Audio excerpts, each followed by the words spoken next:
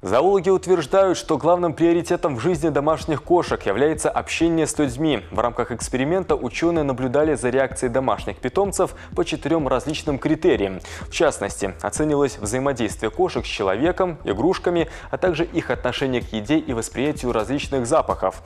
В ходе исследования специалисты лишали животное одного из перечисленных выше удовольствий.